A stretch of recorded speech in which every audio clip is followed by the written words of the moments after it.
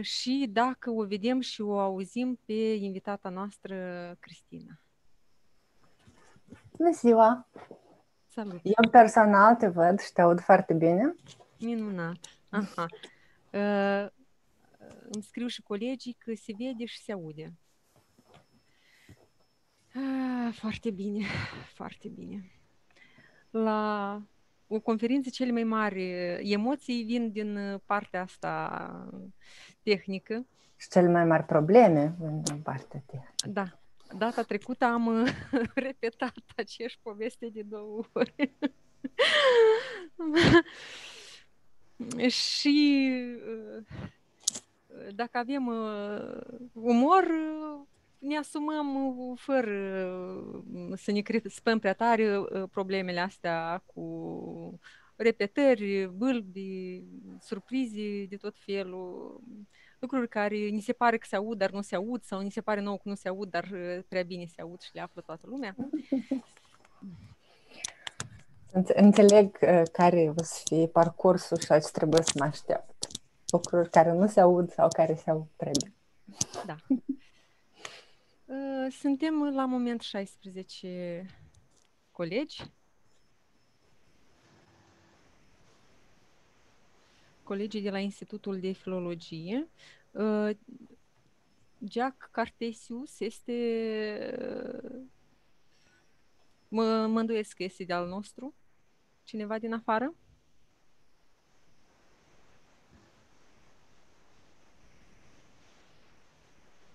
Mm-hmm. Avem aici și un chat. Așa, și avem confirmare că se aude și se vede perfect. Bine, atunci putem începe. Începem, da? Minunat. Dragi colegi, bună ziua! Suntem astăzi la cea de-a cincea Uh, conferință online Diaspora Filologică. Este proiectul uh, Institutului de Filologie Română Bogdan Petricei cu HD uh, și până acum le-am, le-am avut drept invitate pe doamnele Luminița Bușcăneanu din Elveția, doamna Elin, Alina Tofan din Germania, doamna Eugenia Bojoga din Italia și doamna Georgeta Ceslaru din Franța. Am ascultat conferințe foarte docte, foarte dense, foarte interesante. Am avut uh, un uh, foarte bun dialog cu invitatele noastre, am discutat despre proiectele lor de cercetare, despre pos- posibilitățile uh, noastre de colaborare instituțională și interinstituțională. Uh, dragilor, astăzi o avem uh, drept invitată pe doamna Cristina Robu, uh, doctor în uh, filologie, uh, specialitatea teoria literaturii și cercetătoare la departamentul Etude Franceze Francophone Indiana University, Bloomington, SUA. Cristina Robu este originară din Chișinău, a absolvit Universitatea Pedagogică de Stat Ion Creangă, a absolvit două facultăți, specialitățile română-italiană și română-franceză și a absolvit studii de doctorat la Academia de Științe a Moldovei.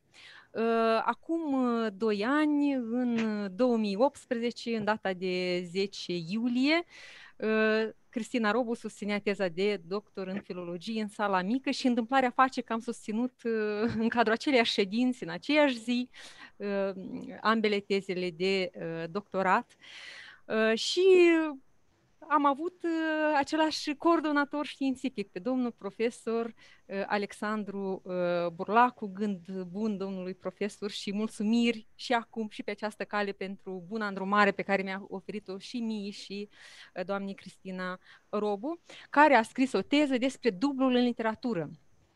Și cam toate articolele științifice ale doamnei Robu se, asea, se axează pe uh, Uh, problema dublului în literatură, în literatura francofonă, cu precădere în literatura din Quebec.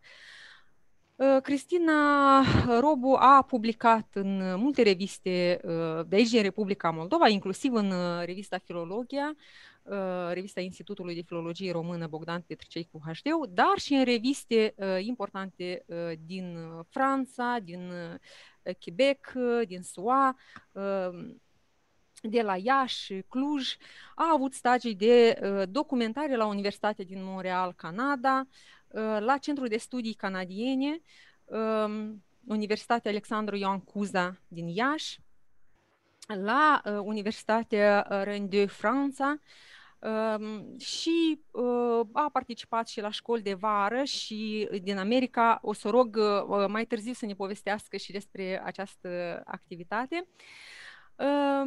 A avut uh, burse de cercetare oferite de Asociația Internațională de Studii Quebecheze, Montreal, Canada, uh, de Departamentul de Franceză și uh, Italiană a Universității Indiana, bursa Gaston Miron Asociației Internaționale de Studii Quebecheze Montreal, Canada, bursa Guvernului Canadei pentru stagiu academic la Centrul de Cercetări Interuniversitare a Literaturii și Uh, culturii din Quebec, la Universitatea din Montreal, Facultatea de Litere, uh, bursa guvernului român Eugen uh, Ionescu și să știți, dragi colegi, că volumul colectiv Dicționar de la francophonie canadien, care a apărut la Iași, la Universitatea Alexandru Ioan Curza din Iași, um, la acest dicționar a contribuit și invitata noastră, Cristina Robu.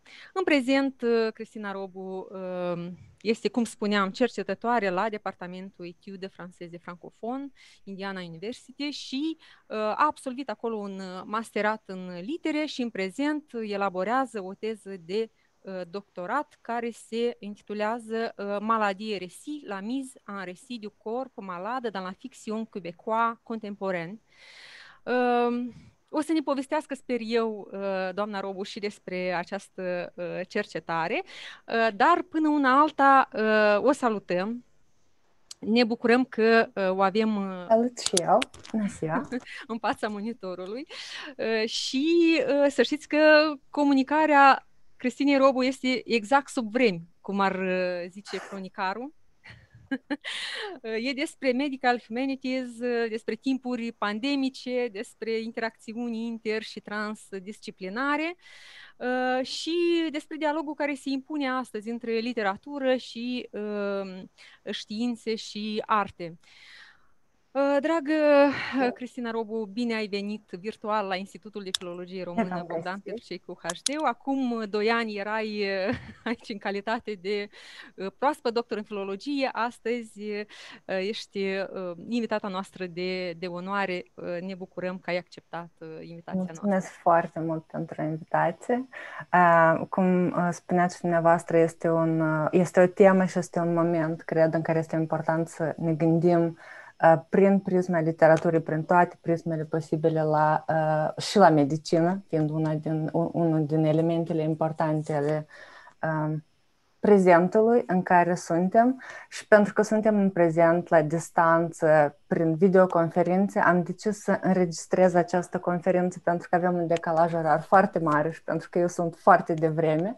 Deci vreau să vă las uh, cu această mică comunicare, rămân aici cu dumneavoastră și post factum aș vrea să, să uh, putem uh, pune întrebări, răspunde și vedea un, cum stau lucrurile.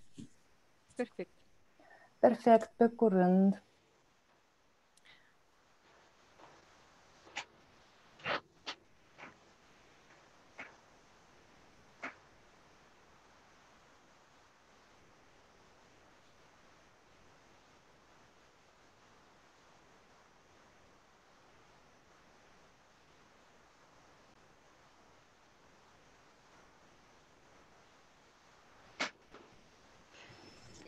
Stimați colegi, dragi prieteni, vă salut de la Indiana University din Statele Unite ale Americii. Mă numesc Cristina Robu și sunt foarte bucuroasă că am ocazia să vă prezint domeniul meu de cercetare astăzi în această scurtă comunicare. Înainte de a începe, țin să-i mulțumesc foarte mult doamnei doctor habilitat Nina Korcinski pentru posibilitatea care ne dă să comunicăm, să ne reunim, să schimbăm păreri și idei și sper ca această comunicare să poată să vă fie utilă și sper să putem să continuăm să vorbim uh, post factum.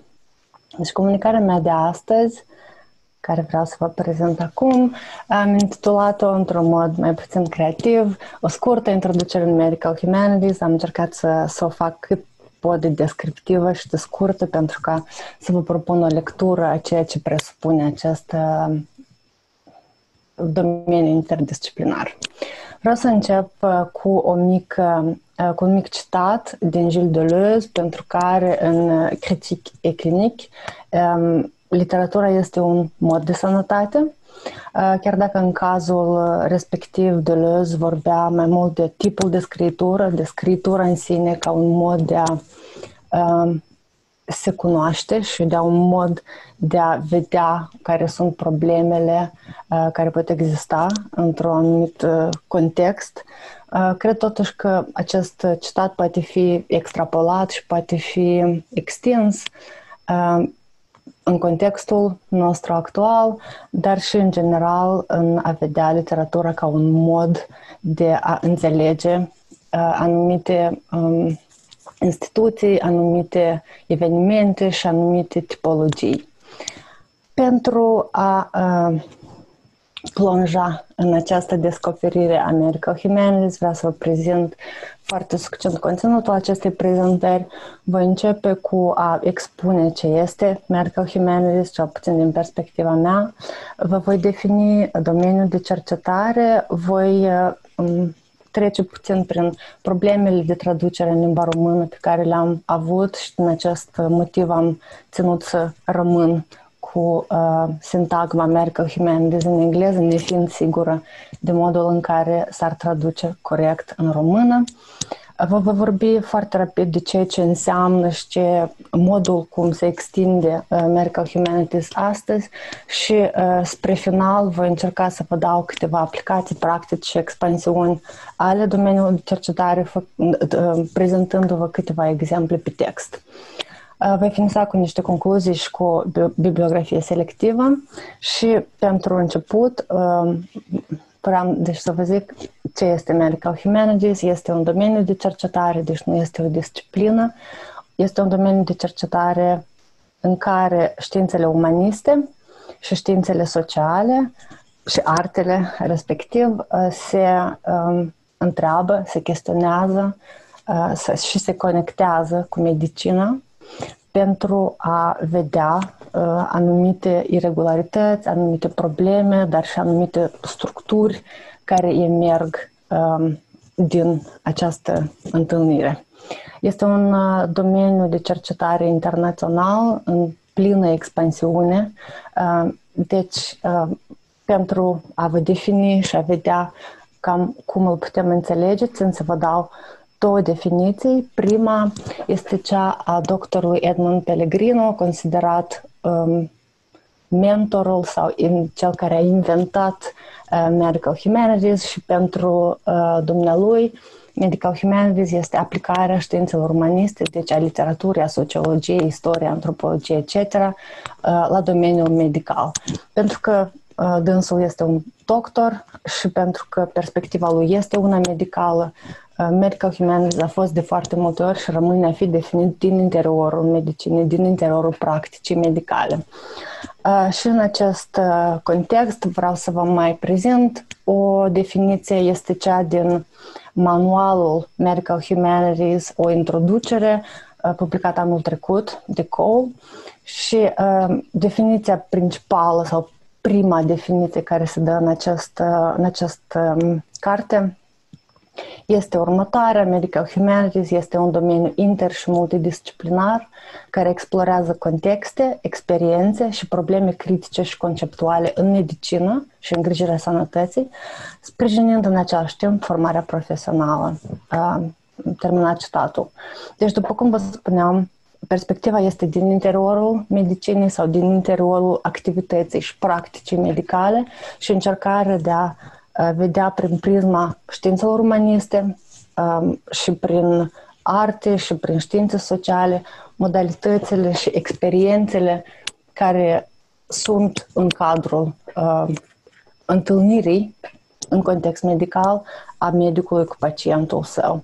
Pentru că eu nu sunt într-un domeniu medical, pentru că sunt studentă la literatură, uh, definiția mea derivă un pic de aici, dar își schimbă axa și am aici o versiune mai personală. După mine, Medical Humanities presupune utilizarea metodelor, conceptelor și conținuturilor pardon, din una sau mai multe discipline umaniste pentru a investiga boala, durerea, dizabilitatea, suferința, vindecarea, relațiile terapeutice și alte aspecte ale medicinei și practicilor de îngrijire a sănătății. Și am subliniat uh, toate aceste elemente, cum sunt boala, durerea, uh, dizabilitatea, etc., pentru că acestea sunt elementele cheie la care mă uit eu în momentul în care citesc anumite texte și încerc să văd modul în care acestea au fost textualizate, deci puse în text și în narațiune, pentru că eu vin din domeniul teoriilor literare, încerc să uh, am o perspectivă teoretică și să văd modul în care narațiunile bolii, narațiunile durerii, narațiunile vindecării și în special narațiunile relațiilor terapeutice, deci modul în care pacientul comunică sau ba cu medicul său uh, au un impact asupra textului, asupra narațiunii și asupra modurilor de narativizare. Cam asta este definirea domeniului și modul în care văd eu Medical Humanities. Deci folosirea acestor metode și concepte uh, și conținut în procesul de pregătire a studenților um, de medicină pentru a umaniza medicina, dar și a chestiona prejudecățile, este în fond ce, ceva ce se face la, um, în universitățile sau în școlile de medicină, iarăși din perspectiva mea, eu o fac la o universitate și la un departament care nu este specializat în medicină, departamentul este de literatură franceză, deci perspectiva mea este una literară, dar poate fi utilizată și poate fi practicată sau predată studenților de la medicină. Deci mi se pare o intersecție foarte uh, utilă, foarte um, care dă o nouă perspectivă asupra literaturii, care valorizează într-un fel literatura și dă o, o credibilitate într-un cadru medical, într-un cadru științific, într-un cadru de, de, a practicienilor uh, medicali și mi se pare importantă uh, sublinierea acestor elemente și respectiv conectarea um, diferitelor um, um, deci în, în cadrul acestui uh, uh, domeniu a diferitelor discipline. Vă spuneam mai devreme când vă prezentam cuprinsul că am avut mai multe probleme de traducere, deoarece în engleză, cum am mai menționat, um, sintagma este Medical Humanities, în această sintagmă, și am și traducerea franceză Les Humanités Médicales, deci în această sintagmă um, științele umane, umaniste, pardon, sunt uh, substantivul, ele sunt calificate de faptul că sunt medicale și încercând să formulez o traducere coerentă, am, le-am avut pe aceste trei pe care vi le prezint, științele umaniste medicale, care sună un pic stângaci, sau uh, altele două care reprezintă, de fapt, două puncte uh, conectate, dar diferite totuși. Prima este studiul științelor umaniste din perspectiva medicală și al doua este studiul medicinei din, per- din perspectiva științelor umaniste. Uh, cred că aici poate depinde de intenție, de modul în care perso- o persoană ar vedea acest uh, domeniu interdisciplinar. Pentru mine um, rămâne cheia și importanța în această în cercetarea mea și în, în investigațiile pe care le fac um, rămâne textul, textul uh, formulat, uh, narrativizat, fie el auto, autobiografic sau ba, dar este în fond studiul sau cercetarea uh, limbajului durerii, modurilor de expunere a acestor a, a suferinței, a diverselor maladii, Uh, într-un context literar sau cinematografic, pentru că lucrez și cu uh, cinematografie și sper că că o să fie bine dacă continui să utilizez sintagma medical humanities, deoarece toate acestea, cu toate că sunt uh, utile, mi se par totuși un pic stângace. Uh, voi continua, deci, prin a vă prezenta foarte succint ce reprezintă Medical Humanities astăzi și uh, țin să în mod de, pentru a precede această prezentare, țin să spun niște truisme și niște lucruri care sunt arhi cunoscute, dar uh, cred că merită um, remarcate aici. Medicina a evoluat foarte mult ca știință și a devenit la, la baza ei a rămas și este din ce în ce mai mult evidența empirică, deci științifică, modurile științifice de a rezolva probleme de sănătate, ceea ce a dus sau a, a, a, s-a fost prezentat spre mijlocul anilor, spre mijlocul secolului 20, pardon, ca fiind un mod dezumanizat de a comunica sau de a avea o relație între uh, medic și pacient din cauza faptului că era pus în centru um, s-au pus accentul pe maladie, pe simptom, pe durere și nu pe experiența personală, nu pe om, omul care deține această durere. Deci modalitățile în care medicina a evoluat și în care justiția socială sau problemele sociale, în special în Statele Unite, au evoluat, au dus la faptul că, așa cum vă prezint pe acest slide, în anii 60-70 a fost o mare revindicare a introducerilor științelor umaniste în planul de studii al studenților de la medicină, pentru că era considerat că foarte multe uh, elemente de discriminare, de rasializare, de, foarte multe probleme care societatea le, le are din nefericire și le aveam special atunci, erau uh, produse de niște, um, de niște perspective dezumanizante în cadrul inclusiv a medicinei. Uh, în Marea Britanie, în aceeași perioadă, a fost, a fost introduse din ce în ce mai multe cursuri de etică în planul de studii al studenților de la medicină. Deci, în modul acesta, um, perspectiva medicală, rămânând foarte științifică, a, a primit a, s-a găsit a avea un nou versant, un versant etic, bioetic, în momentul în care s-au pus problema corectitudinii în anumite cazuri, iarăși raport cu discriminarea și raport cu necesitatea găsirii anumitor soluții care sunt umane, umanizante și respectiv care pot fi discutate din perspectiva științelor umaniste și științelor sociale. În anul 1967 a apărut, a fost deschis primul departament de științe umaniste în, în cadrul Universității de Medicină din Pennsylvania și în 79 s-a creat o revistă care a fost intitulată Journal of Medical Humanities. Deci acest domeniu interdisciplinar a crescut și s-a dezvoltat până a avea departamente, reviste, reviste academice specializate. Și din ce în ce mai multe universități, începând cu această perioadă, au început să deschidă în cadrul școlilor de medicină departamente de um, medical humanities dar și de diverse științe umaniste, dar și în universitățile care nu au studii medicale și la departamentele care nu sunt studii medicale, după cum vă spuneam, în cazul meu, sunt la un departament de literatură franceză, limbă și literatură franceză și italiană.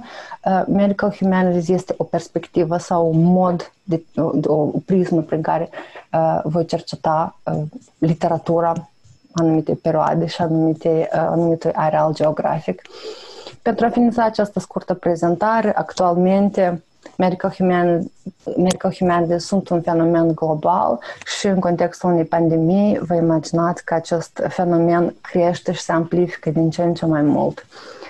Pentru a uh, vă da câteva elemente teoretice uh, care mă interesează și care eu le utilizez foarte mult în cercetarea mea, voi începe cu o primă um, tripartiție, care este cea care deja este prezentă în limba engleză, spre deosebire de franceză sau de română. Tripartiția este disease, illness, sickness, vă prezint aici pe slide. Toate trei um, cuvinte se pot traduce ca boală, dar că toate, fiecare din ele are o perspectivă diferită. Când se vorbește de disease, se vorbește de modul obiectiv, um, deci modul medical, um, o perspectivă științifică, o perspectivă biologică. În, ca, în cazul de illness se va vorbi de o perspectivă personală, subiectivă, deci un illness este boala pe care o am eu, boala pe care o suferă cineva particular, o persoană uh, bine definită, spre deosebire de acea uh, boală obiectivă și științifică pe care o va vedea uh, medicul și al treilea element al acestei tripartite este sickness și vorbim de probleme și, și un cadru intersubiectiv în care cineva își va împărtăși illness, deci boala subiectivă și uh, în acest cadru al uh, bolii intersubiective, ca să zic așa, uh, vom vorbi de diversele acte de, de justiție, de acte legale, dar și de organizații sau de feluri de a gestiona un cadru, uh, un cadru unei boli subiective. Pentru a amplifica și a vedea încă câteva elemente uh, de, de, de, de tripartiție și o viziune tripartită a bolii sau epidemiei, uh, vă prezint aici o tripartiție care a fost făcută de cercetătorul Philip Alcabes, care vorbește în cazul dat și în cartea respectivă despre epidemie și pentru că suntem într-o pandemie, uh, am găsit că este util să prezint această, această tripartiție. Deci, uh, Alchez vorbește de evenimentul fizic sau biologic, care este o perturbare biologică și aici cumva putem să revenim la tripartiția uh, precedentă și să vedem un cadru obiectiv, medical, vorbim de biologie, vorbim de, de elemente care uh, descriu științific o boală. A, a, a doua parte a acestei tripartiții um, este fenomenul social, deci destabilizarea socială cauzată de o boală, o epidemie, o pandemie. Și aici putem uh, vorbi de fie de elementul subiectiv, dar și intersubiectiv, deci modul în care oamenii exper- au experiența socială a bolii. Și uh, Alchez vorbește de o construcție narrativă în care se reunesc fizicul și socialul pentru a produce o formă de sens și în cercetările mele este anume acest compartiment, această producere de sens și vedere cum boala, de, de văzut cum boala este reprezentată în texte, cum este ea reprezentată dintr-o perspectivă subiectivă, intersubiectivă sau completamente obiectivă, cum sunt formate și cum sunt dezvoltate aceste, uh, aceste trei elemente în texte literare. Pentru a uh, explica și pentru a extinde uh, aceste foarte scurte elemente pe care vi le-am propus. Vreau să merg într-o parte mai practică și să vă prezint câteva exemple. Aici vă propun primul exemplu și prima grilă de lectură care poate fi făcută. Este o dimensiune sociologică din, care vine, provine din sociologia medicală, propusă de marele sociolog Talcott Parsons și el vorbește de rolul bolnavului. Este un o funcție, ca să zic așa, sau o structură din științele sociale care este importantă. Și pentru um, Parsons bolnavul are anumite um, facilități. Deci în momentul în care o persoană este bolnavă, societatea îl privește în mod diferit, el are o, o anumită, uh, este scutit, ca să zic așa, de anumite obligațiuni, dar are alte obligațiuni care vin uh, odată cu boala și în multe cazuri aceste elemente, deci lucrurile care sunt, de care el este eliberat și lucrurile de care el este obligat să le facă, nu, deci comportamentul bolnavului nu coincid cu obligațiunile care le, le atribuie societatea. Și pentru a vă da un exemplu foarte rapid, m-am gândit la moartea lui Ivan Ilici de Tolstoi, um, în care aveam prezent, îl avem prezent pe Ivan Ilici, care este bolnav și rolul lui, rolul lui de, de bolnav, de persoană care suferă, este foarte bine descris și foarte uh, minuțios conturat de autor. Avem câteva elemente de, de gândire aici. M-a interesat și m-a interesat la lectură și m-ar interesa când aș face un studiu descrierea stării emoționale a bolnavului, pentru că este o, un compartiment foarte interesant în medical humanities și în literatură, sigur, modul, deci limbajul pe de o parte, structurile narrative, structurile temporale în cadrul unei narațiuni despre modul cum boala poate să distrugă și limbajul uh, unei persoane, să-i compromită nu doar viața socială, dar și modul în care gândește și în care își narrativizează experiența. Uh, tot în acest text este, uh, și acest text este studiat foarte mult în uh, cadrul Departamentului de Medical Humanities, pentru că mai este dihotomie, vorbeam mai devreme de dezumanizare medicală, a apărut o dihotomie interesantă și importantă, cred eu, în Medical Humanities, care este cea de vindecare, pe de o parte, deci medicul încearcă să vindece, iarăși prin, printr-un, într-un context obiectiv, foarte științific, foarte uh, bine structurat, uitând uneori de, aceast, de cele stări emoționale, de acea durere, de acea anxietate și respectiv aici se opune acestei vindecări, conceptul de grijă, în engleză este care și este împrumutat în franceză în același mod.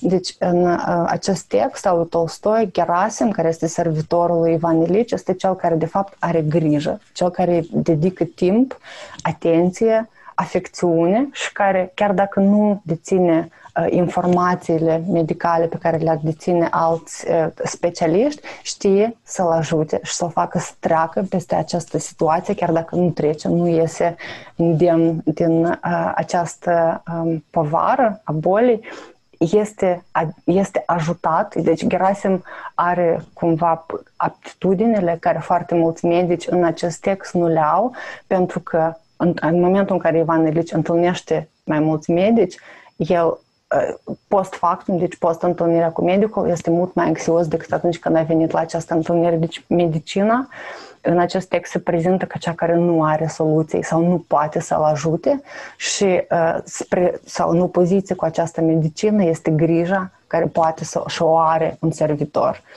Uh, în acest fel, textul acesta, care este, din câte știu, în planul de studii la foarte multe departamente care studiază medical humanities, este unul foarte interesant și este unul foarte uh, în care este foarte bine punctată această diferență dintre um, tratament și grijă sau dintre vindecare și grijă și modul în care stările emoționale pot fi foarte profunde și ar fi un element important în cadrul, și este, a devenit, uh, în cadrul uh, studiilor uh, la medicină, ca medicii să aibă această, um, să aibă grijă, să poată purta grijă.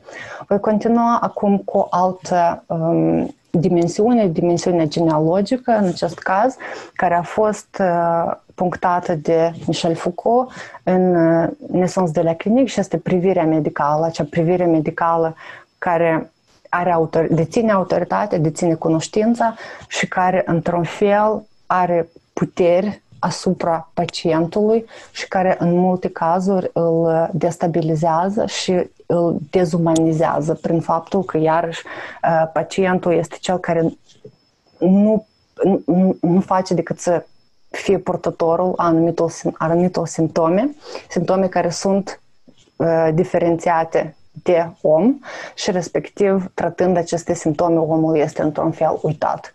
Exemplu care uh, m-am gândit să-l duc aici este și eu unul clasic, Molière, Le Malade Imaginaire uh, și poate fi văzută privirea medicală în acest text prin hipocondria uh, personajului principal, cel are o frică maniacală de, de medicină și această frică a fost și ea teoretizată în anii 80 și se numește sindromul de halat alb sau hipertensiunea de halat alb, deci modul în care anumiți pacienți, ducându-se la medic, fac hipertensiune din cauza acestei priviri medicale, din cauza acestei, acestei structuri care um, limitează um, umanul, ca să zic așa.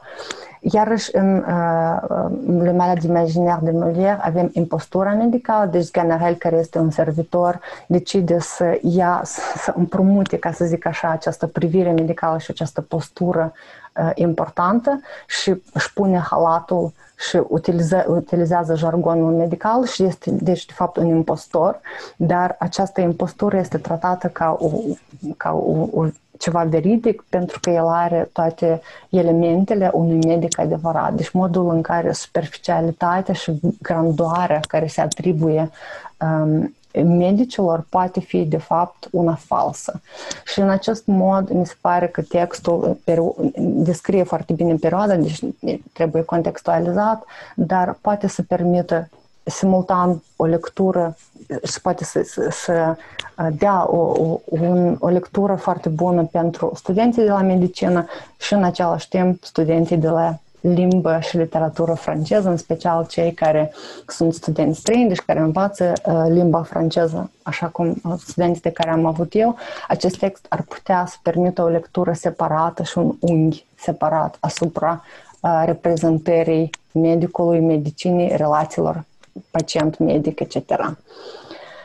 Încă un um, încă o sintagmă, încă un concept, cel de medicină narrativă, vine din dimensiunea medicală și a fost um, conceptualizat de Rita Sharon uh, acum ceva timp, prin anii uh, 90-2000, cred, și acest concept presupune, după Rita Sharon, că noi suntem toți, umanitatea este o, o, o o specie care necesită narațiune, care nu face decât să, să povestească și modul în care uh, un pacient îi va povesti medicului său despre ceea ce simte, necesită niște cunoștințe narrative și aici Rita Sharon vorbește efectiv de cunoștințele care le-ar avea un student sau un o persoană care are studii literare și de teorie literară, deci vorbește de modul în care se înțelege un, o narațiune, de, de geză, de toate scăpările și toate temporalitățile divergente într-un text. Și respectiv, Rita Sharon a fost cea care a introdus medicina narrativă în cadrul planurilor de studii la foarte multe școli de medicină, dar această perspectivă mi se pare că poate fi utilizată și eu o utilizez și mă uit de foarte multe ori la relațiile uh, în text, în textele, în narațiunile în care personajul principal este un medic, la relațiile acestui medic cu pacienții săi și modul în care narațiunea um, se întâmplă.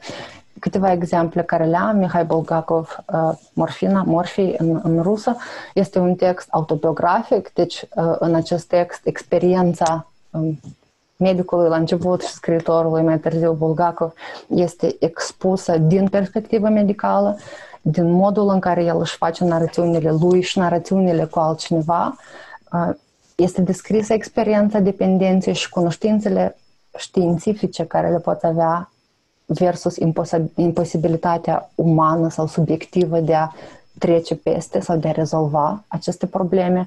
Frica, singurătate, iarăși pentru contextualizare, vorbim de un medic care este trimis undeva foarte departe în, în Rusia și se simte foarte singur și uh, aceste elemente de, de lectură și această perspectivă culturală în cazul contextualizării și în cazul punerii lui Bulgakov în centrul uh, sau în contextul literaturii ruse, dar și în, la literaturii universale în larg, dar și modul de a vedea, iarăși, reprezentările pe care le poate avea un text literar despre medicină și modul în care această reprezentare este făcută, mi se pare foarte utilă pentru un curs de literatură universală sau de literatură rusă.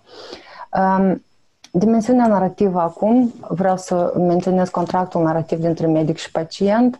Uh, Gerard Danu, care este un practician, dar care a scris și mai multe texte în raport cu Uh, relația și, dintre pacient și um, medic, a vorbit foarte mult de un contract narrativ în care medicul uh, care presupune că medicul se angajează să facă tot ce e posibil pentru ca pacientul să fie vindecat, să fie mai bine și pacientul se angajează în acest contract să spună tot adevărul și să urmeze sfaturile doctorului, dar acest contract este foarte problematic, medicul iarăși având o autoritate uh, obiectivă științifică asupra pacientului, în multe cazuri pacientul nu este ascultat până la final sau medicul nu este ascultat pentru că pacientul are anumite reticențe sau anumite fobii și este o întreagă dimensiune narrativă care în cazul ăsta cere o atenție asupra acestui contract și perspectivele și momentele în care acest contract este sau poate fi rupt sau riscurile care pot să-l rupă.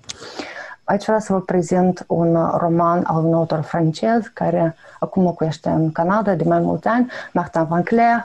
Uh, uh, romanul lui se intitulează L'école de soignant scris anul trecut și ceea ce mă interesa aici este unul din romanele în care personajul principal este medic, deci este perspectiva aceasta medicală și contractul care o ai dintr-o perspectivă medicală, dar în acest text este o răsturnare uh, majoră, ca așa, ierarhiei medicină, modul în care studiile medicale se fac diferit, în care este o, o necesitate de a trece prin toate etapele, deci de la infermiera de bază până la a ajunge cel mai important medic și nu după cum crede Van Clear, ceea ce se întâmplă acum, modul în care medicii devin medici foarte importanți, neștiind ceea ce se întâmplă în sistemul lor și modul în care alte persoane care nu sunt în ierarhie, în cea mai parte de sus a ierarhiei, pot să aibă viață foarte complicate din cauza comportamentelor toxice ale medicilor Van Clea optează și pentru feminizare.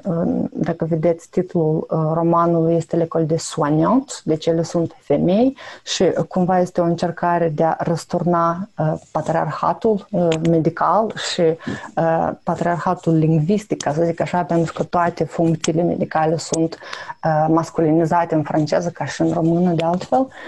Tot în acest roman este vorba de restructurarea instituției per se, deci de revederea și încetarea birocrației majore care are loc în, în medicina actuală și încercarea de a reumaniza sau dezumaniza sau depășirea dezumanizării și reumanizarea pacientului, punerea pacientului în centru cu tot cu narațiunile chiar și contradicțiile sale, încercând să, să, să găsească cea mai bună soluție pentru el.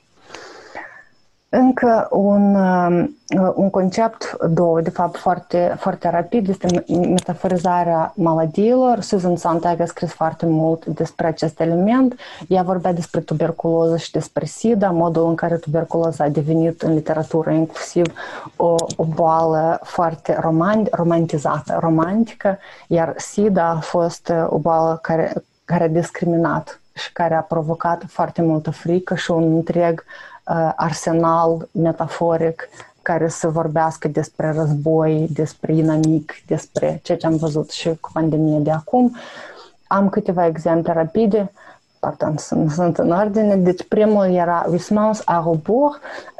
În acest text, după câte probabil știți, boala este o reprezentare metaforizată de ceea ce se numea lumea du siècle, deci durerea care o aveau persoanele, în special persoanele foarte bogate în Europa în sfârșitul, sfârșitul secolului XIX și boala este văzută prin această prisma luxurii, a distanței, a trăirii într-un turn de fildeș și a imposibilității de a se conecta cu lumea simplă.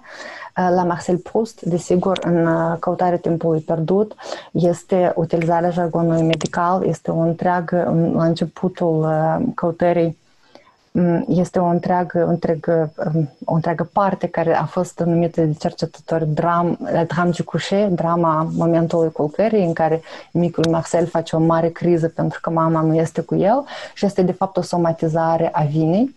Și s-au fost făcute mai multe cercetări uh, în care se vorbește despre modul în care, de fapt, istoric, um, um, biografic. Tatăl lui Marcel Proust, Andrei, Adrian Proust, a scris o, o, un tratat despre neurastenie și a ilustrat neurastenia și cercetătorii în literatură care au studiat această, prin perspectivă medicală sau medical humanities, um, la recherche au uh, conchis că, de fapt, uh, posibil că această ilustrare a neurasteniei era, de fapt, adresată lui Marcel, că Marcel Proust a fost cel care, cel mai mare neurastenic și asta este foarte bine ilustrat în text și respectiv o lectură în acest, în acest unghi poate să, să schimbe foarte multe perspective și să adauge foarte multe, um, perspe- uh, foarte multe laturi la text și să-i dea mai multe dimensiuni. Um, vreau să finisez cu Marguerite Duras, La maladie de la mort, în acest text um, în care se, un cuplu se întâlnește și um, este foarte scurt, un roman foarte scurt în care un bărbat vrea să iubească o femeie sau vrea să fie iubit de ea și respectiv titlul textului fiind Maladia morții, de fapt maladia, maladia nu e și moarte nu e, totul este o lipsă de dragoste sau o dragoste, deci lipsa imposibilitatea dragostei devine o boală și devine o moarte per se, o frică de moarte, o încercare de a depăși sau a evita moartea um, prin dragoste. Și iarăși este o metaforizare foarte intensă care um, dă o lectură foarte diferită a ceea ce uh, a scris uh, Marguerite Duras, a experienței lui Marguerite Duras, pentru că a avut uh, probleme medicale destul de, de serioase. Um, ah. Încă, cred că este ultima dimensiune pe care vreau să, să vă prezint, cea spațio-temporală, cronotopul bolei, cronotopul despre care a vorbit Mihail Bactin și pe care l-a luat, de fapt, din științe. Citisem undeva că a avut ideea aplicării cronotopului la textul literar în momentul în care a asistat la un seminar de biologie, deci cumva a importat um, cronotopul și știm cu toții, a vorbit și de Einstein, dar faptul că um, filosoful și teoreticianul Bakhtin a fost uh, influențat de uh, biologie și de științele um, aplicate. Uh, mi s-a părut foarte interesant și uh, vreau să exemplific prin textul Virginia Woolf, On Being Ill, care s-ar traduce ca A fi bolnav, care este un eseu uh, și în care Woolf vorbește de boală ca stare unică, esențială și necesară. Ea critică faptul că boala nu este mai discutată sau mai desfășurată în texte, cu toate acestea vorbește foarte mult de Proust și modul în care experiența autoarei și persoanei, Virginia Woolf a influențat scrierile ei și a influențat și influența acestui eseu în post factum creează cumva o, o dimensiune diferită și ea vorbește de asta, dimensiune diferită a bolii, modul în care timpul și spațiul în, în momentul bolii este totalmente diferit și trăit fenomenologic, să zic așa, din, în, într-un mod unic. Mai am un exemplu, uh, Georges Bernanos, uh, autorul uh, belgian, care, textul căruia a fost um, adaptat cinematografic de Bresson în 51. Textul se numește Journal d'un curé de campagne și în acest text un uh, preot în, uh, într-un sat, uh, are un cancer din câte se înțelege din text și această experiența bolii în text și în film uh, sunt cumva um, sincronizate cu lipsa de, um, de, de, de practică religioasă, de evlavie și modul în care acest preot se simte foarte rupt de comunitate și singur. Și într-un fel, uh, respectiv boala, starea uh, emoțională și fizică a personajului și modul în care practicile religioase și lipsa totală de, de conexiune și de afecțiune în această comunitate creează un, un cronotop unic și, și foarte, uh, uh, foarte util gândirii, iarăși în contextul pandemiei actuale. Pentru a finisa, pentru că am trecut un pic peste timpul care mi-a fost acordat, uh, vreau să finisez cu un citat care mi este foarte drag, un citat din practicianul uh, René Leriș, care a fost uh, mai târziu citat de Georges Conquilem și preluat de Michel Foucault. Citatul, traducerea mea aparține, deci este, poate fi un pic stângat, citatul este sănătate, este viața în liniștea organelor. Deci pentru Loriș, momentul în care organele sunt liniștite este partea vieții care este, de fapt, sănătatea. Și um, gândindu-mă la acest uh, citat, am ajuns la concluzia că boala este logos, că boala este vorbire, că boala este narațiune. Și cam așa încep eu um, teza mea de doctorat, în care cred și vreau să demonstrez, acum sunt în proces de a demonstra că narațiunile bolii sunt niște narațiuni integre existenței umane, foarte uh, utile înțelegerii structurilor sociale, discriminărilor, desigur, dar și modurilor de a gândi fie ele personale sau colective, despre ce înseamnă a fi bolnav, care, care este statutul bolnavului, care sunt condițiile bolii și care sunt, uh, pentru că problemele le știm, cu siguranță, dar modul în care aceste narațiuni sunt practicate ne vorbește, vorbește foarte mult despre un status quo care mie mi se pare um, foarte uh, util la moment, iarăși, pentru că contextul pandemiei, dar și în exteriorul acestui context pandemic suntem totuși uh, într-un circuit între sănătate și boală. Deci, cred că este foarte important să ascultăm narațiunile bolii și să ascultăm acest, să, să citim și să gândim acest logos. Pentru a refinisa și a reconchide cu o, o, o uh, viziune mai um, de definiție, ca să zic așa, mai formală a ceea ce este Medical Humanities. Cred că Medical Humanities permite revalorizarea științelor umaniste în contextul studiilor medicale și sporirea conștientizării umane, interprofesionale și interdisciplinare. Deci acest mod de a veni împreună într-un moment istoric în care suntem foarte divizați și în care lumea este foarte complexă și um, un, un pic uh, stranie, uh, pentru că vin din prisma dublului, suntem într-un mod în care doppelgangerul nostru uman nu poate să înțeleagă ce se întâmplă în lume. Cred că Medical Humanities este acest loc, acest spațiu, um, acest spațiu științific, dar și un spațiu uman, un spațiu de um, interdisciplinar, interprofesional și interuman, uh, intersubiectiv, în care pot fi gândite foarte multe probleme care sunt de o importanță majoră acum și care ne-ar da o înțelegere a propriei noastre existențe și a propriului nostru parcurs. Și pentru că luna iulie în Statele Unite este luna vizibilității uh, persoanelor cu dizabilități, pentru că 30 de ani în urmă, abia 30 de ani în urmă a fost semnat actul în care persoanele cu dizabilități au o voce și au drepturi, uh, ceea ce este foarte puțin timp în urmă, cred că este și mai um, important și este un moment crucial în care să valorizăm și să ne gândim împreună ceea ce înseamnă medicina, ceea ce înseamnă boala, ceea ce înseamnă grija, vorbeam de care mai devreme și sper că această scurtă prezentare, uh, vă las aici uh, bibliografia selectivă, sper că această scurtă prezentare să vă fi fost utilă, să vă fi fost interesantă și sper să aud întrebările dumneavoastră post factum. Mulțumesc foarte mult, să aveți zi frumoasă!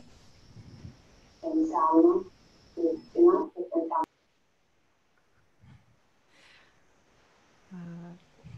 Mulțumim și noi, dragă Cristina Robu.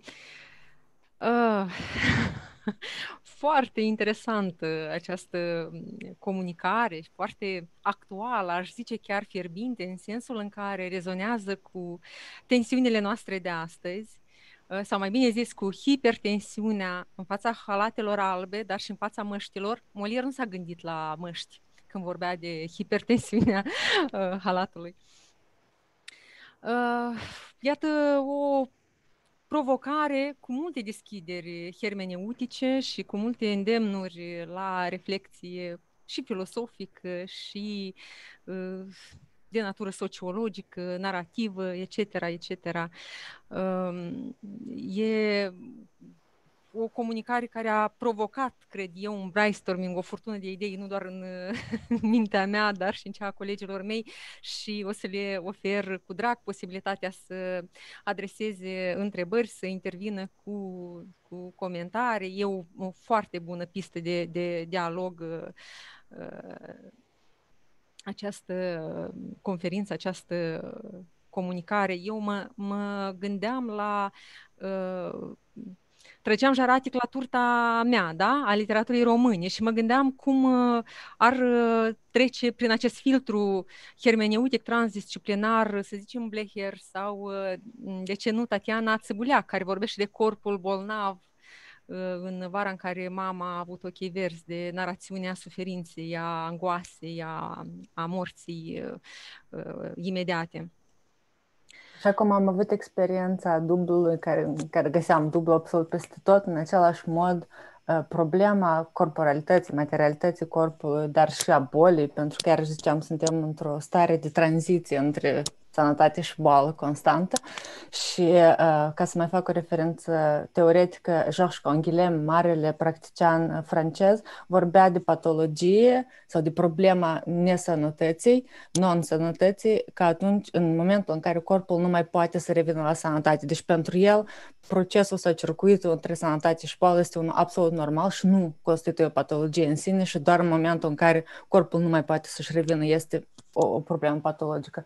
Deci, uh, cred că poate fi găsit absolut peste tot, este o, o constantă um, în, uh, în literatură, în literaturile lumii, în literatura română cu siguranță, pentru că sunt afiliată um, cadrului francofon, rămân în literatura chebecheză sau franceză, dar uh, cu siguranță turta literaturii române, credeau ar fi, ar fi foarte, ar fi o pistă interesantă și ar fi un mod interesant de a regândi, fie so- social, sociologic, cadrul medical și modul în care lucrurile se desfășoară acum în context pandemic sau în context pre-pandemic, dar și cu siguranță într-un context istoric și genealogic poate fi văzut modul în care se, vorbim, vorbim iarăși de rolul uh, bolnavului, cum este tratat bolnavul, cum este tratat medicul, care sunt diferențele dintre aceste funcții sociale. Deci, da, este, posibilități sunt multiple. Da, uh, scriitorii noștri uh, sunt într-un fel favorizați, iată, fiecare rău cu binele lui, au un material de lucru extraordinar, să aibă inspirație să elaboreze construcții narrative axate pe boală, angoasă, frică, tot, tot ce generează această pandemie care, iată, ne uh, aruncă în uh, niște extreme, niște uh, stări uh, de tensiune extraordinară. Deci eu începusem teza, uh, doar să fac o mică paranteză, începusem teza mult înaintea pandemiei, deci eram cumva uh, înaintea ei, dar acum, în contextul în care suntem din ce în ce mai mult, și pentru că scriu o teză pe literatura din Quebec, începând cu anii 80 până acum, deci am un cadru și geografic și temporal foarte clar, dar au început să apară foarte multe narațiuni pandemice, deci foarte mulți autori cu care lucram deja au început să scrie despre pandemie și intenționez să uh, mai dau un capitol în care să vorbesc despre asta, pentru că este cumva inevitabil, este cu adevărat un status quo, este ceea ce trăim și mi se pare că pentru proiectele mele uh, viitoare este important să, să înțeleg, să ascult și să privesc uh, ceea ce se întâmplă la moment în, în domeniu. Da, și e o cercetare uh, pe care o văd și drept o pledoarie uh, pentru reumanizarea ființei umane, că tot vorbim astăzi despre uh, dezumanizare, de toate parantezele pe care le deschid tehnologiile virtuale, de robotizarea umană, de eliminarea umanului din literatură. Uh, și de uh, toate suferințele la nivel ontologic. E o, o pledoarie, o reîntoarcere spre om, spre uh, dilemele sufletului și a trupului și a dialogului care uh, se instaurează inevitabil între sub, uh, suflet, trup, spirit, uh, minte. Um, un foarte bun prilej pentru dialog ne oferi dragă Cristina Robu și uh, vreau să invit colegii să să se implice, să intervină cu observații, sugestii, obiecții, etc., etc. Suntem aici conectați și cercetători de la Centru de Literatură și Folclor și de la Centru de Lingvistică. Dragi colegi, vă rog să nu ezitați, avem comentarii pe, pe chatul nostru comun. Uh, mă bucur să văd că este conectat și colegul nostru Alexandru Cosmescu, cred că ar avea uh, multe de spus la acest uh, subiect. Uh, apropo, uh, universitățile care au introdus în uh, curicula studențească la medicină și științele socio-umane au inclus, uh, presupun, dar poate nu am dreptate, și filosofie și uh, au avut cumva și literatură sau e hazardată presupunerea mea? Um, filosofia, deci este iarăși unul din paradigmele și evoluțiile medicinei. În medicina greacă, medicul grec trebuia să știe greacă, latină, filosofie, teologie, etc. Și asta a urmat până la un moment în care filosofia nu mai era, nu mai făcea parte din curicula obligatorii. Uh, nu cred că a revenit filosofia per se, nici chiar uh, medical humanities nu este prezent în toate școlile de medicină. Deci este ceva apărut, important, interesant. Există cursuri, am prieteni, mai mulți prieteni la medicină care mi-au povestit despre faptul că ei sunt interesați, că există uh, profi care fac cicluri de conferințe sau uh, cursuri în școlile lor. Încă nu este ceva care a fost uh, implementat peste tot în același mod. Acum, literatura, medicina, literatura în medicină era un, o sintagmă și era un tip de curs care exista înaintea Medical Humanities și se practica mai rar, dar existau profesori în, în medicină care erau interesați de această paralelă între medicină și, și narațiune sau modurile de narativizare în medicină. cred eu și din studiile mele, din cercetările care le-am până acum, este totuși ceva care e, care a devenit mult mai popular în anii 60-70 și acum se popularizează poate și mai mult uh, pentru că suntem în acest circuit de narațiuni, suntem în această zonă de expunere totală și de încercare cât mai mult transparență devenind din ce în ce mai opaci cu toate acestea. Deci, uh, filosofia mai puțin, am impresia că în cadrul uh, studiului, deci Medical Humanities, sau în cadrul cursurilor, profesorii care fac uh, programul pentru cursurile de Medical Humanities introduc și anumite lecturi din filosofie, dar textele, romanele și uh, proza scurtă care descriu starea bolnavului, am impresia că au pondere cea mai mare la, la studenții de medicină. Ar fi interesantă și o analiză din această perspectivă transdisciplinară și a romanului, dacă nu s-o fi făcut deja, romanului uh, lui Marquez, uh, Dragoste pe vremea holerei, iubirea ca o boală, ca o holeră, ca o îmbolnăvire a trupului. Cred că s-a făcut și în contextul ăsta pandemic, uh, vă dați seama că la început eram cumva euforică, pentru că pandemia a venit cu o foarte, un foarte mare volum de publicații și de referințe și de uh, concepte pe care nu le cunoșteam de fiecare dată. Și s-au făcut foarte multe referințe, inclusiv la Marquez, referințe care au fost retrase post factum, pentru că sunt texte într-un fel mai reușite, inclusiv ciuma lui Camus, da. clasic. clasic. Dar pentru că în, am impresia că totuși există anumite facilități în încercarea de a gândi în ciuma lui Camus este cu adevărat problema medicală și problema grijei și prezenței, de dedicației medicului, dedicației preotului, încercării de a fugi din anumite contexte pandemice. Deci, cumva cred că Camus a fost foarte popular ultimele patru luni. Da, da, e în forță, mai cu seama astăzi. Uh, dragă Alexandru Cosmescu, Ion Plămădeal, uh, sunt sigur că da, ați avea ce, ce spune. Da, bună ziua! Eu am ascultat cu atenție. Se aude bine? Da, Se perfect. Aude. Îmi pare bine să te văd și să te aud. Ai ținut așa un discurs coerent, interesant, cu toate ingredientele și ne-a inițiat într-un domeniu de foarte vast, interdisciplinar.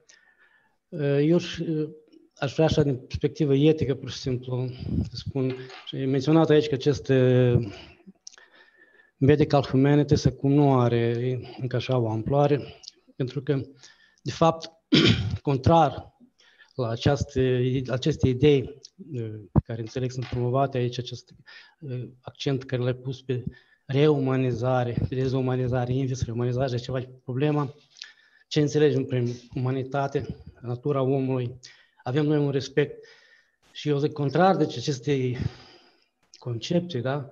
ceea ce se întâmplă de fapt, paradigma actuală în medicină, această revoluție antropologică legată de schimbarea medicală a procreării. Și aici, de fapt, contrar acestor idei umaniste care noi spunem revenire și ceea ce înțelegem prin filiație, de fapt, acum procrearea se face cu totul altfel, este lipsită de...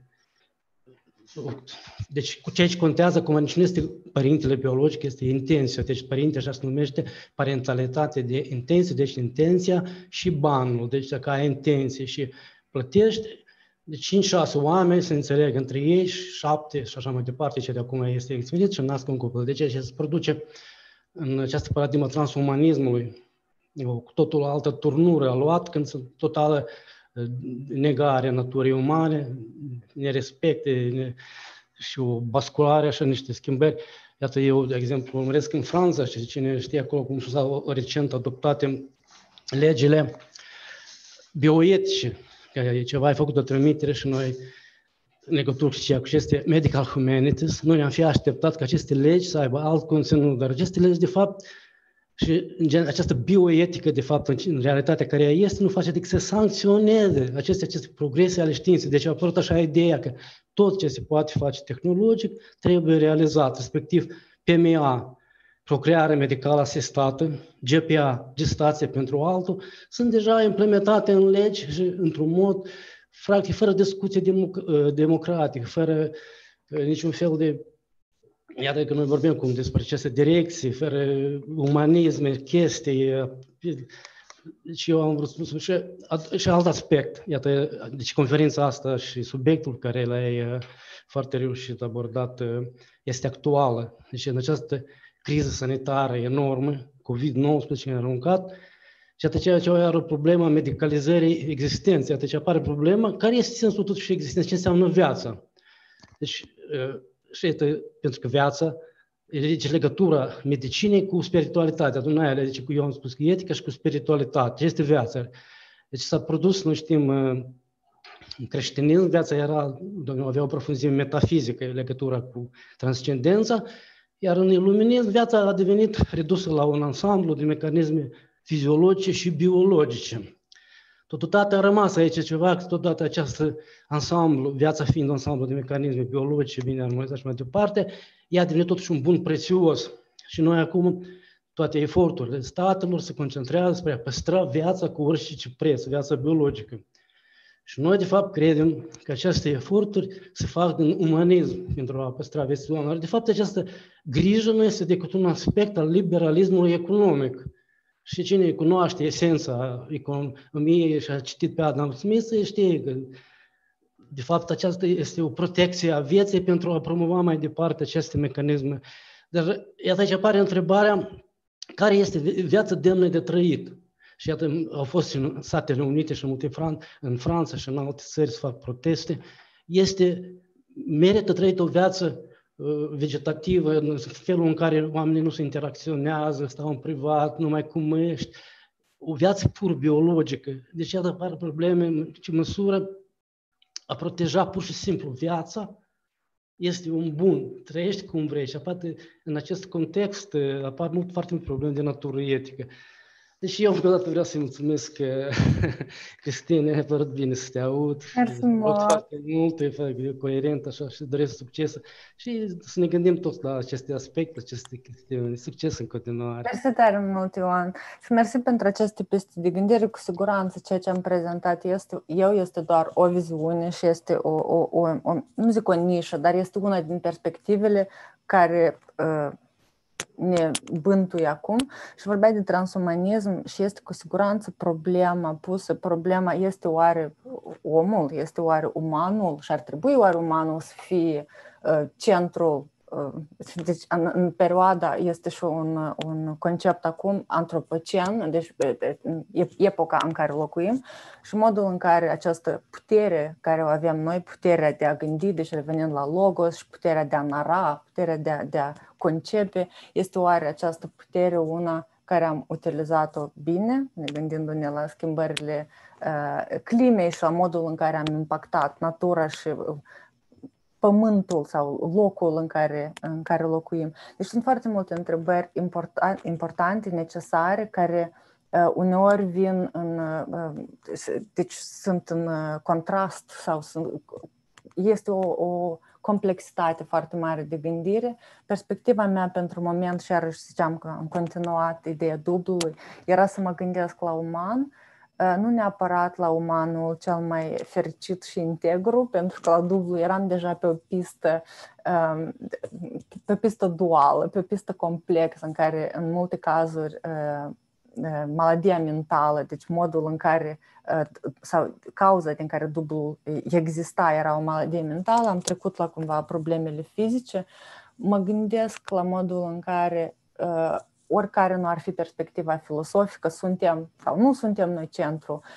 Și sunt niște idei care merit, la care merită de gândit în cadrul nostru, deci în climă, în cadrul nostru natural, cu siguranță este alt element care merită gândit, la ce înseamnă om, ce înseamnă natura umană, merită sau, nu, sau cum merită de trăit, iarăși sunt probleme foarte vaste, care cred că umanitatea le are de foarte mult timp, uh, trebuie să, să recunosc, să spun ceea ce cred, cred că suntem în, din niște perspective și fiecare are perspectiva sa personală și de unde pornesc eu, din locul, din premiza care pornesc eu, este de a asculta deci de a asculta toate perspectivele, de a înțelege că oamenii gândesc și văd lucrurile foarte diferit. Uh, vorbind de bioetică în special, este un cadru foarte complex și spun foarte multe probleme, inclusiv cu medicina sau asistența paliativă, uh, modurile de, de reproducere. Este un cadru foarte complex în care încerc de obicei să, să mă țin la distanță până când am suficient de cunoștințe ca să, ca să mă pot să, să pot exprima. Acum, ceea ce fac eu și ceea ce cred că este, iarăși, cum am spus de atâtea ori, deja important, este de, de gândit și de ascultat și de creat un dialog. Dialogul este pentru mine, la moment, uh, elementul cel mai important. Și mulțumesc încă o dată pentru comentarii. Comentariul pe care îl, îl aveam eu se leagă foarte mult de ultimul răspuns al dumneavoastră. În primul rând, aș vrea să vă mulțumesc, doamnă Robu, pentru uh, comunicarea excelentă. Uh, ceea ce mă gândeam uh, în timp ce vorbeați uh, era legat de uh, o dualitate dintre, uh, pe de o parte, ceea ce putem numi un discurs al bolii, în sensul în care boala însă și este subiect al discursului, un discurs uh, care aparține bolii, aparține trupului bolnav sau trupului posedat de boală, trupului care întrupează această boală. Și un discurs în care uh, boala este luată ca obiect, boala este tematizată, eventual de același trup, ca modalitate de distanțare de propria boală. Uh, mă gândesc că în, uh, în textele pe care le analizați s-ar putea să existe această tensiune dintre momentele în care boala însăși este subiectul discursului, uh, în care discursul este lipsit de control, control din partea subiectului conștient versus momentele în care subiectul conștient încearcă să preia controlul asupra propriei, propriei condiții, tematizând sau teoretizând sau încercând să folosească limbajul pentru a se distanța de, de experiența trăită. Adică, în sensul ăsta, un discurs care este expresia experienței trăite versus un discurs care este obiectualizarea experienței trăite. Și, și sunt curios dacă faceți distinția asta în, în studiul dumneavoastră. Mulțumesc din nou pentru conferință. Mulțumesc și eu și mulțumesc pentru întrebare. Este un element la care nu am ajuns, dar da, fac distinția și fac distinția chiar din perspectiva persoanei care uh, narează. Deci, în uh, obiectivul, problematica care mi-o pun în această teză este um, textul sau narrativizarea bolii la persoana a treia. Deci ceea ce vreau să știu este modul în care boala este, sau discursul bolii este, boala este obiect. Pentru că atunci când subiectul face narațiunea și uh, uh boala devine subiectul cumva sau uh, subiectul bolnav este posedat de boală până la scrie, uh, în multe cazuri este o, o, un cadru care este, este o distorsiune pentru că este natural să fie un, un, o narațiune distorsionată în momentul în care corpul suferă și de obicei stilul uh, scriturii va depinde efectiv de aceste elemente, de, de modalitatea de a transmite boala prin limbaj.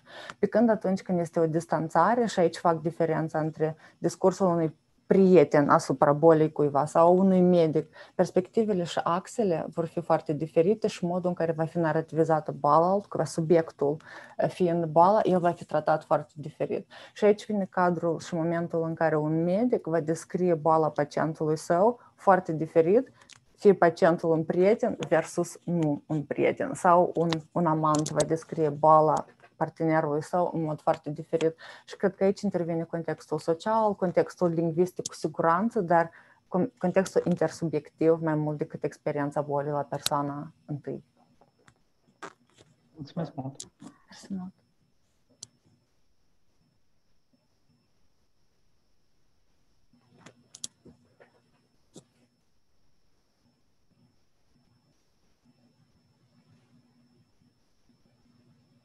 Microfon, doamna Korcinski. Scuze. Uh, întrebam colegii cine mai dorește să intervină și o trăgeam de mâinică pe uh, Olesia Gârlea, care uh, avea un uh, comentariu scris și uh, până apucăm noi să citim, mai bine auzim.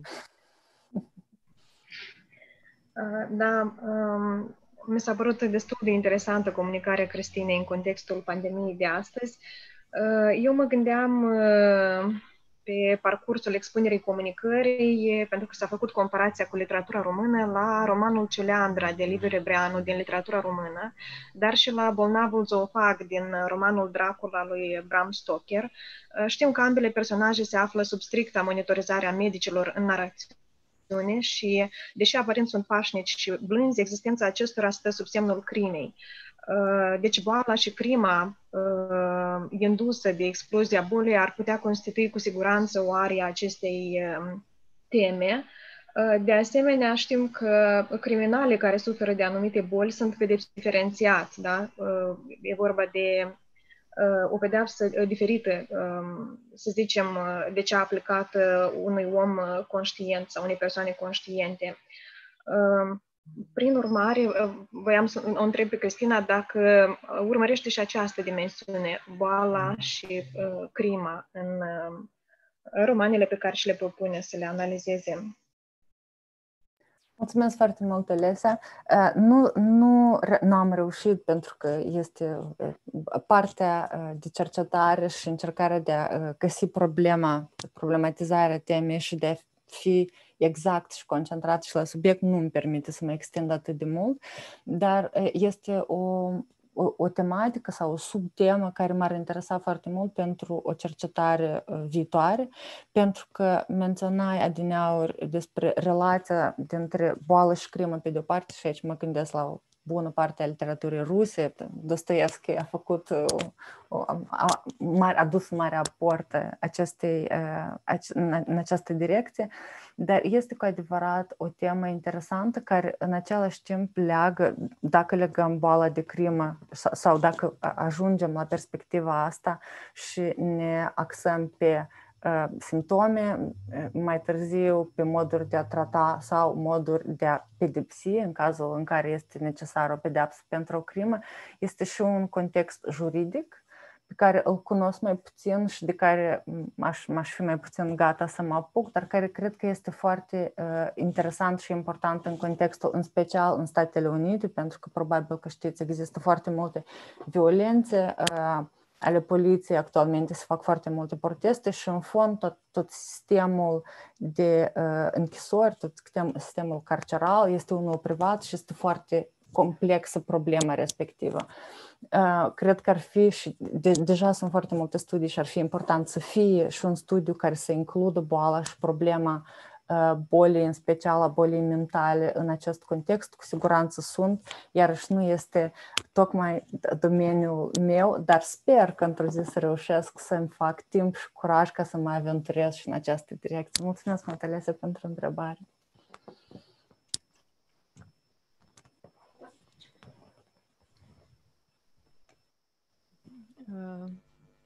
Dragă Cristina Robu,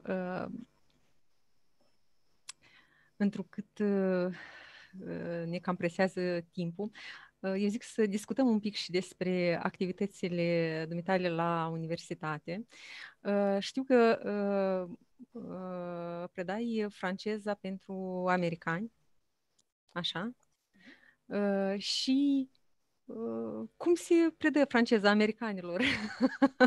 Întrebarea așa foarte tranșantă. Și dacă este la universitate o catedră de română și dacă mm. colaborezi cu această catedră și mm, cum, cum, se, cum lucrează un basarabean, cum muncește un basarabean într-o universitate americană?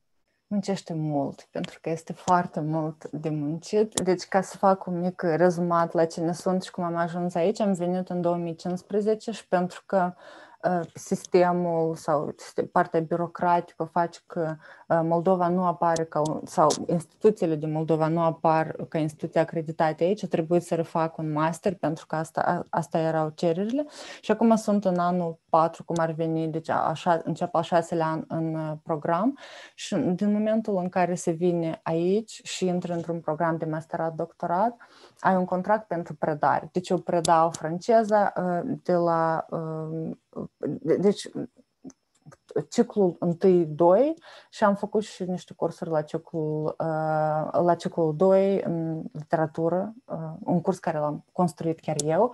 Deci toate celelalte cursuri sunt cumva pre pregătite pentru, sunt cursuri de limbă și inițiere în elemente culturale și literare.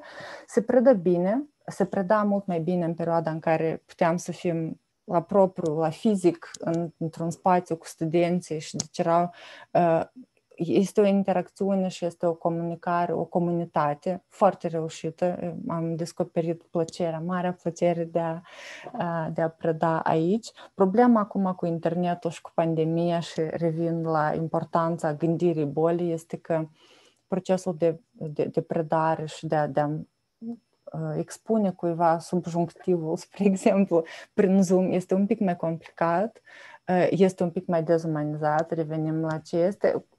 Problema mai e și partea în care privatul și publicul cumva se întâlnesc la noi în birou sau în apartament, deci cumva este o, o stare mai complicată și o, mai alienantă, ca să zic așa, dar în fond este, campusul este foarte mare, sunt într-un oraș mic cu un centru universitar foarte mare, care se, orașul se numește Bloomington în Indiana. Este un loc foarte reușit. O întrebare despre departamentul de română. Departament per se nu e. Deci este un departament de rusă și uh, studiile ruse și este europene, în care exista un curs de română, care cred că nu mai există de vreo 2-3 ani, pentru că persoana, profesorul Cristina Ileas a, s-a pensionat, deci nu mai este și nu știu dacă au fost, există concurs. Eu încercând să, și mergând pe filiera franceză am rămas acolo și iar să răspund la întrebare, nu comunicăm sau nu am comunicat, chiar dacă eram într-un uh, în aceeași clădire la moment, dar pentru că eu abia venisem și eram foarte uh, serioasă și concentrată și încercam să reușesc să fac toate, pentru că programul este foarte intens și uh, o, să, o să văd dacă reușesc să comunic cu ei. Partea birocratică, partea de angajare, partea de uh, rezolvare a multor din problemele birocratice, aici este destul de complexă, pentru că iarăși este un centru foarte mare și comunicarea a devenit mult mai dezumanizantă acum. Dar da, cam asta e. Se lucrează bine, se lucrează mult. Acum este mai problematic cu lipsa accesului la bibliotecă, dar sunt cumva și studenți români la universitate, profesori români Profesori sunt câțiva, mai puțin, dar în momentul în care existau încă cursurile de, uh, de limba română, exista și, și mai există probabil niște întâlniri săptămânale ale vorbitorilor de limba română din Bloomington. Deci era o întâlnire foarte neformală într-un bar undeva iarăși pe vremurile în care barurile erau deschise și se întâlneau, eu am mers de câteva ori, dar iarăși realizând că am uh, cunoștințe suficient în română, am încercat să-mi organizez timpul să merg spre uh, cunoștințele și lecturile de franceză, dar da, există câțiva studenți, există câțiva profesori și se făcea chiar și o conferință anuală a studiilor române în care vinea, uh, vineau cercetători de prin toată țara și prezentau. Deci era un, un moment uh, foarte curios și foarte uh, o, cu o nostalgie mergeam la, la conferințele acelea. Nu cred că s-a făcut anul ăsta și nu cred că se va mai face, din iarăși din considerente pandemice. Dar, dar există totuși o mică comunitate, da. Citisem în CV despre o școală de vară din America și eram curioasă să aflu mai multe. A, a fost anul trecut. Este un institut cultural care se organizează în fiecare al doilea an și anul trecut fusese pe tema persoane, deci eu și a emoțiilor. Se organizează la Dartmouth, la univers- o universitate foarte prestigioasă și a fost o întâlnire extraordinară de, de suflete pereche, ca să zic așa, pentru că este o, patru săptămâni în care vin profesori și fac cursuri și comunicări foarte extinse pe tema care, este, care le este propusă, dar în același timp, pentru că eram doar 20 de studenți și în fiecare săptămână 4-5 profesori, era o modalitate de a fi cu ei mereu, de a comunica și de a, de a schimba foarte multe idei în context foarte intim. Deci nu era distanța sau autoritatea sau în anumite cazuri frustrarea care poate să o producă un curs universitar. Eram într-un context foarte uh, apropiat, în vară, foarte puțini studenți pe campus, deci a fost o experiență foarte, foarte utilă, minunată. Mi-am creat uh, legături și prieteni și am, o comunitate și într-o comuniune cu această comunitate sunt în continuare și a fost o experiență extrem de reușită. Dar cu centri academice românești, cu uh, colegii clujeni, ieșeni, uh, ai mai păstrat co- colaborarea, se pot crea niște conexiuni, niște colaborări academice niște interinstituționale, nu mai zic de Republica Moldova, dar mă gândesc în primul și în primul rând la noi. Cu siguranță că se pot. Problema care, fine, nu, nici nu este o problemă, de fapt, fiind axată pe literatura franceză, în special în contextul, marile context francofon, pe literatura din Quebec, cumva sunt și eu impusă să mă axez, să merg într-o direcție diferită.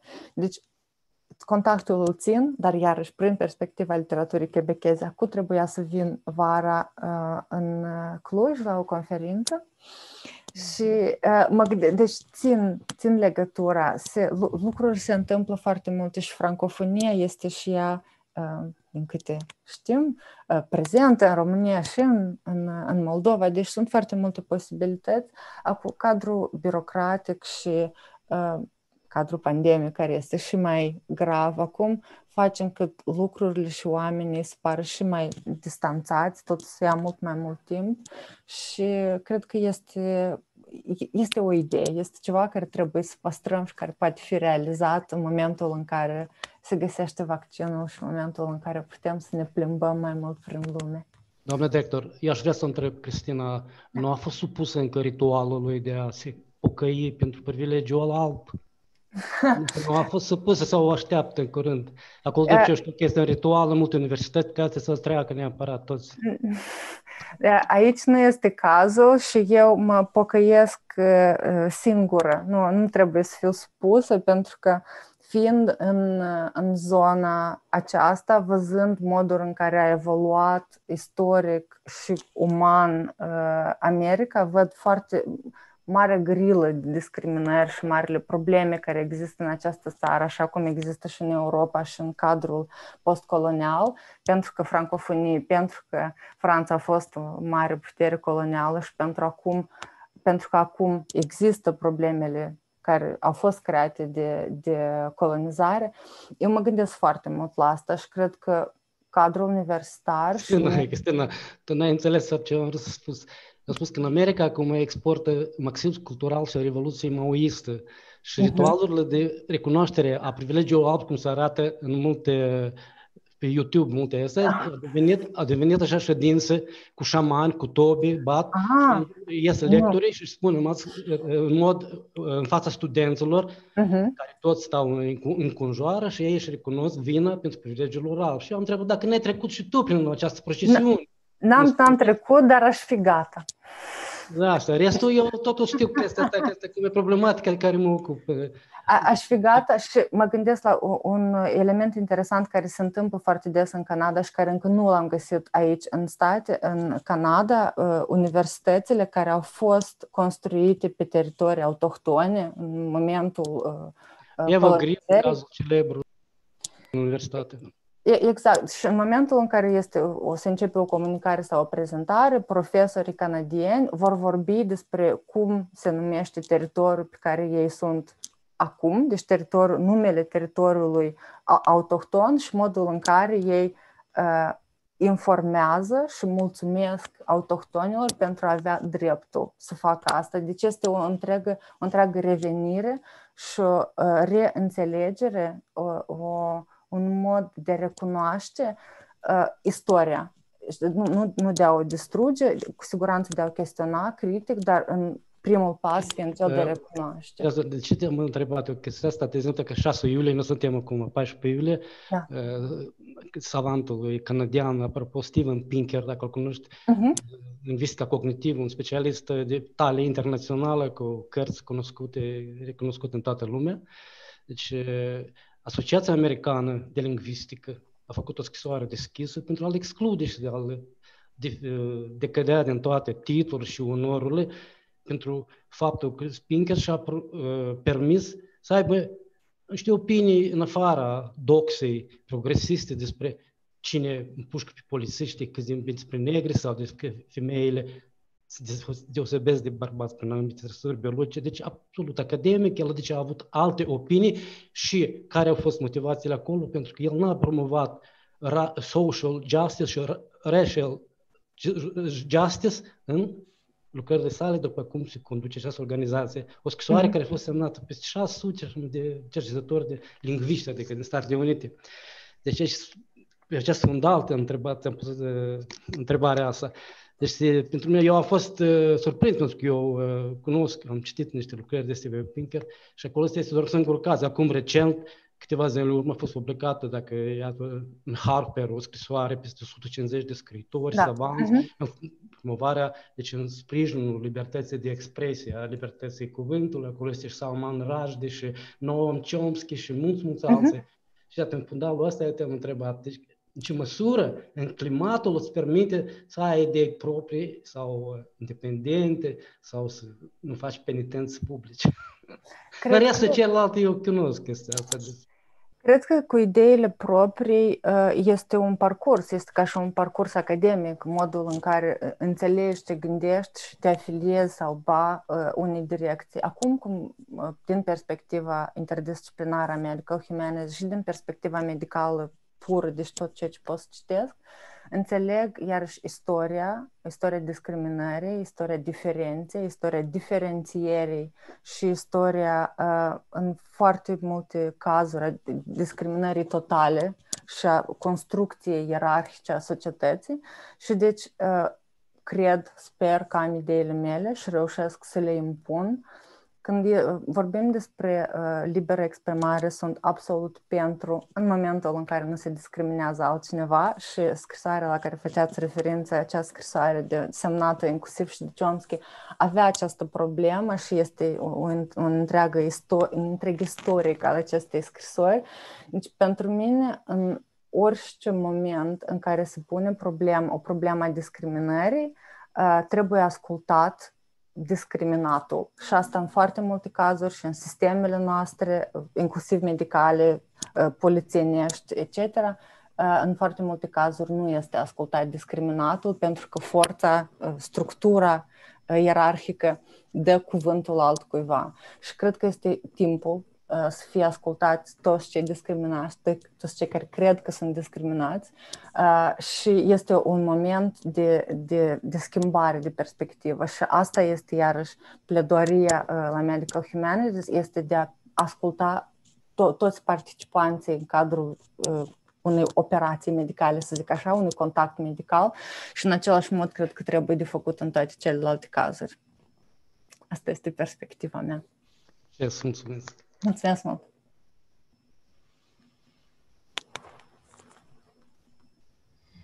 Foarte provocatoare discuții.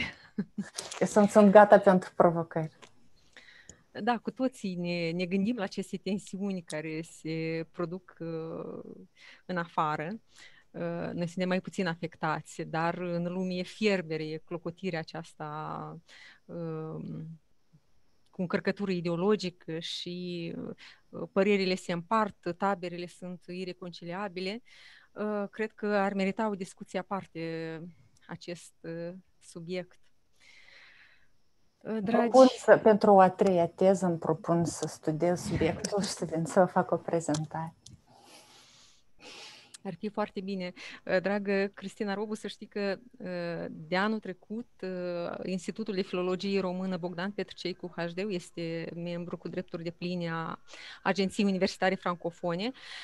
Așadar, putem face împreună proiecte, putem face conferințe pe tematică francofonă, dar și alte tematici și putem să ne întâlnim nu doar online, dar sper eu și cât mai curând să ne întâlnim uh, așa față în față pe viu și să avem colaborări cât mai, mai frumoase și utile pentru noi toți. Uh, dragi colegi, uh, dacă mai aveți ceva de spus, vă rog să, să nu ezitați și să, să interveniți. Da, și dacă mai are cineva ceva de spus post factum, eu sunt prin internet, uh, contactați pe doamna Nina Corcinski și vă dă neapărat contactele mele și dacă aveți uh, uh, curiozități, comentarii, nu ezitați, cu drag aș comunica.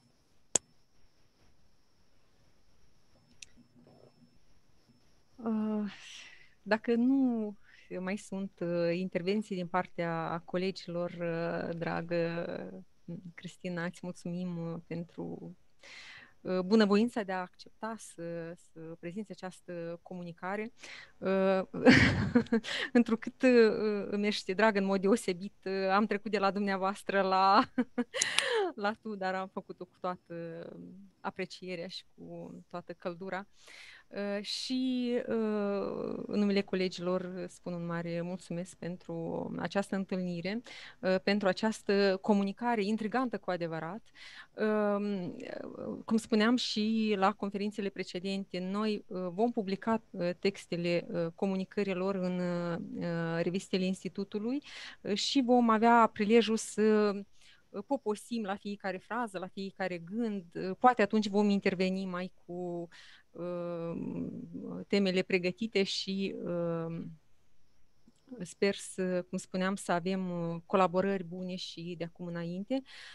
Mulțumesc, dragi colegi, pentru atenție, pentru intervenții, pentru comentarii și vă zic la revedere și o zi frumoasă să avem cu toții în continuare. Zi bună tuturor, vă mulțumesc pentru prezență, pentru timp și atenție. Aveți grijă, sănătate, e o perioadă pandemică, deci uh, vă urez toate bune și uh, Institutul va continua să ne unească, continuăm să colaborăm și să gândim critic. Așa. Vă mulțumesc mult, o zi bună! O zi frumoasă!